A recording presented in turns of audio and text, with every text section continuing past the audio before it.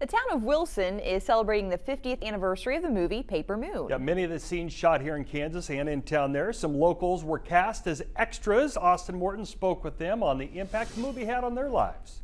The Midland Hotel is hosting the 50th anniversary celebration of Paper Moon this Friday. Midland is very lucky in that we played a major role in what happened with the film, so we can have that here. The hotel was used for filming and much more. And uh, filming was being done, Tatum and Ryan stayed, they had the whole third floor to themselves, and then the crew had stayed on the second floor. It's been 50 years since spots here in town, like the stairs at the Midland Hotel, were used for filming.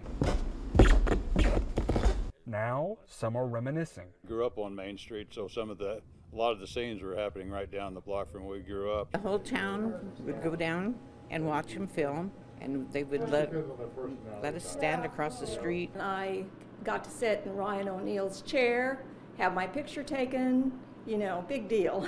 Half a century later, Wilma Old says she'll never forget that picture or that memory. Oh my gosh. I mean, I was young and he was good looking, and you know.